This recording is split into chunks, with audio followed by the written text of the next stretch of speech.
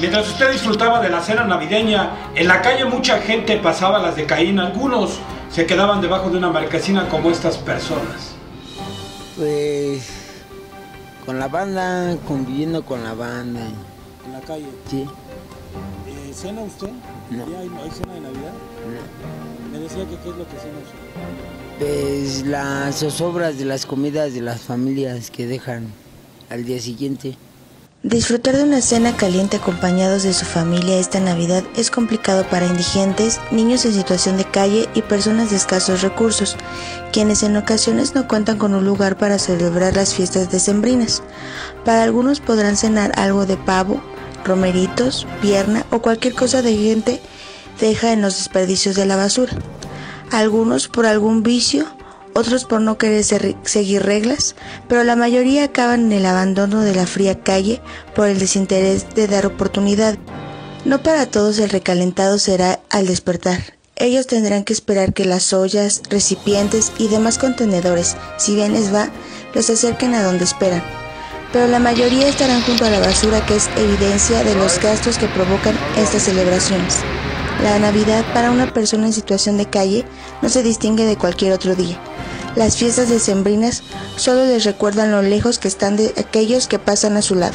Ahorita nos hace paro para echarnos un desayuno. Informó para ti Jessica Escobedo. En todo el mundo festejaron la Navidad, en México no fue la excepción. En todo el mundo se festejó la Navidad en varios países, como en México, las familias se reunieron al lado del arbolito de Navidad, también arrullaron al niño Dios y rompieron piñatas sin faltar la tradicional cena, donde degustaron de diversos platillos como lo son los romeritos, el bacalao, también el pavo lo hicieron presente. Otros comieron pierna o lomo, pero antes de que dieran las 12 de la noche, brindaron con sus copas por la Navidad y por el nacimiento del niño Jesús. Informó para Noticias Rápidas, Gelo Efatel. Las principales avenidas y calles de la Ciudad de México amanecieron literalmente desoladas. Ayer que se festejó la Navidad, mucha gente festejó por la madrugada.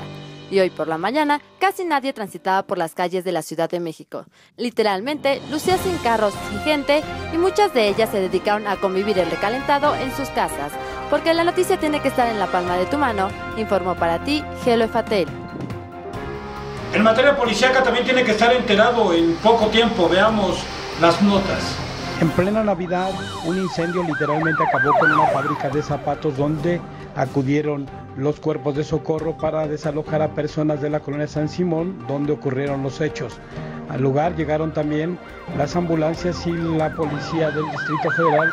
Veamos qué nos ha preparado con imágenes de Julio Vargas e información de Antonio Martínez en torno a un multichoque donde participaron más de 30 vehículos. Cinco personas murieron y varias más resultaron heridas al registrarse una carambola sobre el circuito exterior mexiquense entre por lo menos 30 vehículos a la altura de Teoloyucan en dirección hacia Querétaro en el Estado de México. La Comisión Estatal de Seguridad Ciudadana confirmó el deceso de cinco personas en el accidente, sin embargo la cifra podría aumentar debido a que hay varios vehículos prensados y los lesionados trasladados eran de gravedad. Reportes no oficiales recabados en el área de la tragedia mencionan que fueron 25 las personas lesionadas, 13 de las cuales fueron trasladadas a hospitales de la periferia y dos al Hospital Magdalena en las salidas en la Ciudad de México. El choque múltiple ocurrió alrededor de las 9.15 horas entre el kilómetro 6 y 7. La autopista se encontró cerrada en ambos sentidos por varias horas entre Zumpango y Tultepec, en tanto trabajaron los cuerpos de auxilio para apoyar a los lesionados. Según reportes vertidos a través de redes sociales, en el choque múltiple estuvieron involucrados cinco trailers y dos autobuses de pasajeros, así como más de 20 autos.